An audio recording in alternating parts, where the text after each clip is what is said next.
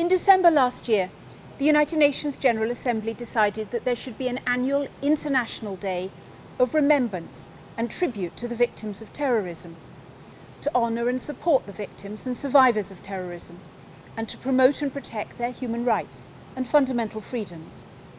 The United Nations General Assembly chose the 21st of August as the date. The day is being observed for the first time this year.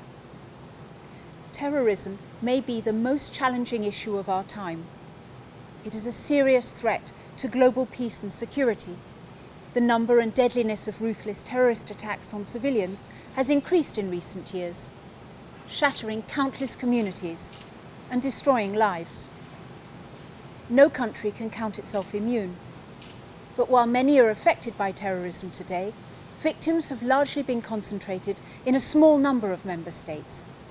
Last year, 2017, nearly three quarters of all deaths caused by terrorism were in just five countries Afghanistan, Nigeria, Somalia, Syria, and of course our home, Iraq, which suffered greatly from the terror of Daesh.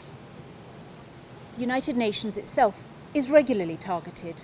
Only two days ago, we marked the 15th anniversary of the attack on the headquarters of the United Nations mission in Iraq in which 22 people lost their lives and more than 100 were injured, some severely.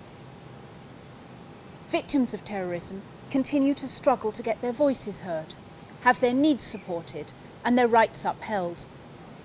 Victims often feel forgotten and neglected once the immediate aftermath of a terrorist attack fades.